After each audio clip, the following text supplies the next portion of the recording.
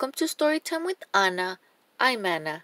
The book that I'm going to be reading is called Hansel and Gretel. Let's begin. Hansel and Gretel.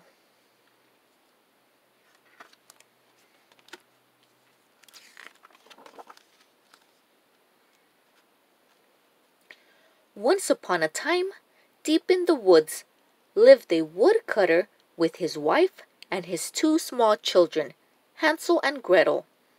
Their father loved them dearly, but their stepmother wasn't nearly so kind. She wanted nothing more than to be rid of the children. The woodcutter was very poor and had very little food to feed his family. One day, his wife confronted him. She insisted that the only way that they could survive would be to get rid of the children. She came up with a plan to abandon Hansel and Gretel deep in the forest. Reluctantly, their father agreed.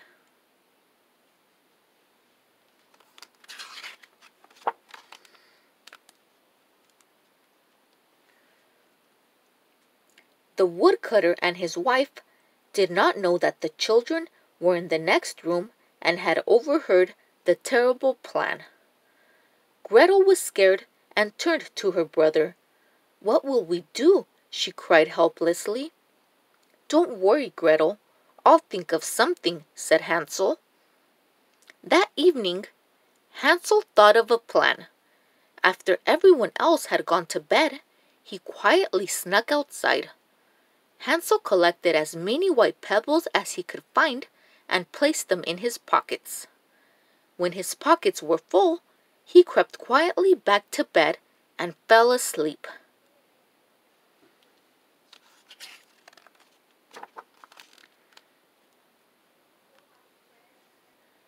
At the break of dawn, their stepmother woke Hansel and Gretel. Get out of bed, she yelled sternly. You'll be helping your father cut wood in the forest today. She shoved the children out the door and locked it behind them. The children obediently followed their father through the forest. As they walked, Hansel secretly dropped the pebbles from his pocket. If they became lost in the forest, he knew that the pebbles would lead them back home.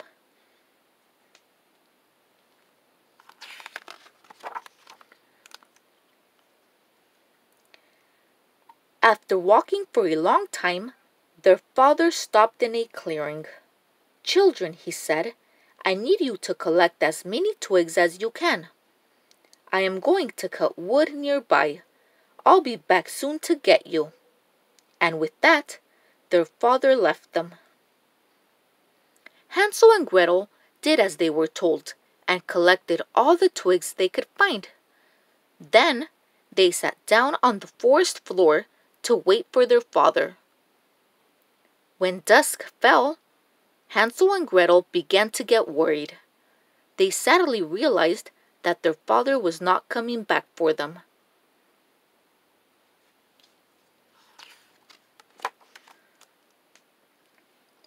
We're lost, Gretel sobbed.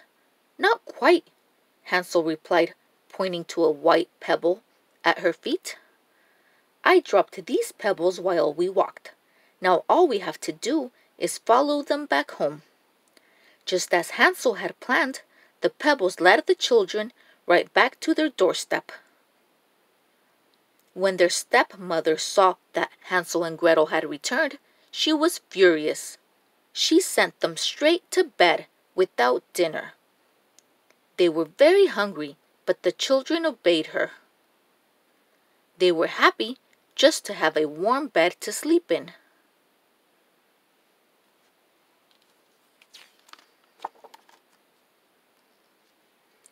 The next morning, their stepmother woke the children.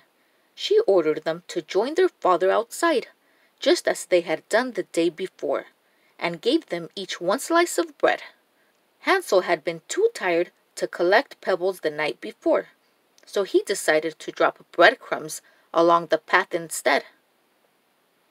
This time, the woodcutter led Hansel and Gretel even deeper into the forest. He asked them to collect stones and promised he would come back for them.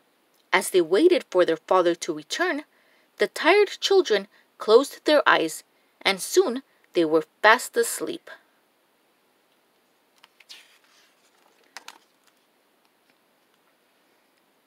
The next morning, Hansel woke up and discovered that all of the breadcrumbs had disappeared. The birds must have eaten them, Gretel said sadly. As they tried to think of a new plan, a bird landed nearby and sang a sweet song.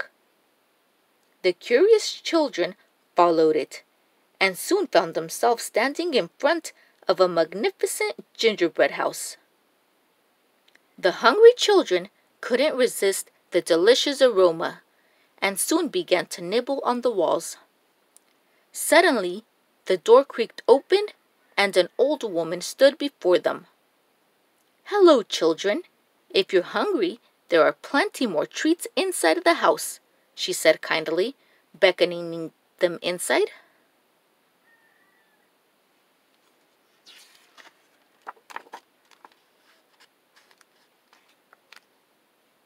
When they entered, the children found a wonderful feast laid out on the kitchen table. There were plates piled high with cookies, cakes, and pies. There was more food than they had ever seen before.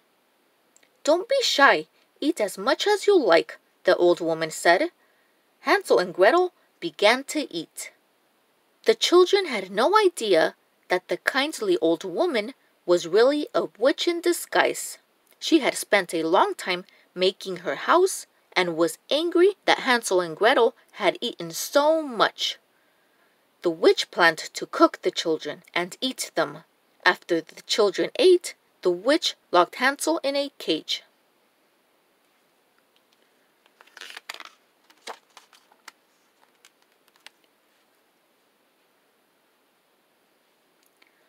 Over the next few days, Gretel was forced to do chores around the house.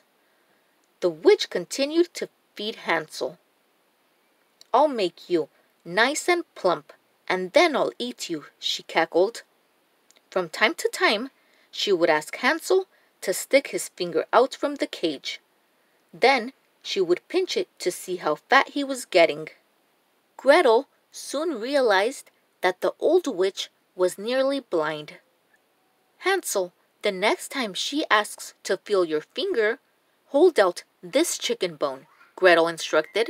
If she thinks you're too skinny, she won't eat you. From then on, each time the witch asked how fat he was, Hansel would give her the chicken bone to pinch.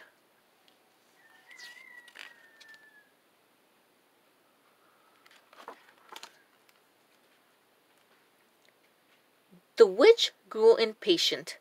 Finally, she couldn't take it any more. Skinny or fat, I'm cooking you today, she told Hansel. Gretel, light the oven. Gretel sweetly asked the witch to help her. As the witch leaned in to light the oven, Gretel pushed her in and slammed the door shut. Then Gretel ran over to the cage and freed Hansel. As they were about to head out the door, Hansel noticed something glittering in the corner of the room. It was a treasure chest full of gold coins.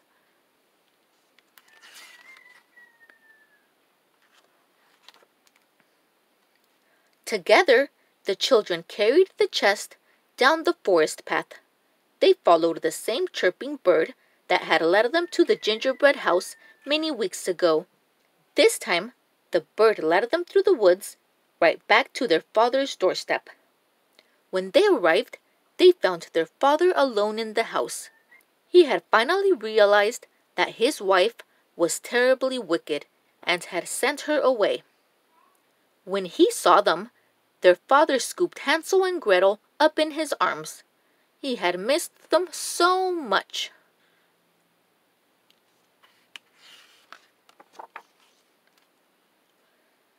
Papa, we have a surprise for you, Hansel said, revealing the chest full of coins. Their father was overjoyed, and they lived happily ever after. The end. Don't forget to like this video and subscribe. Bye!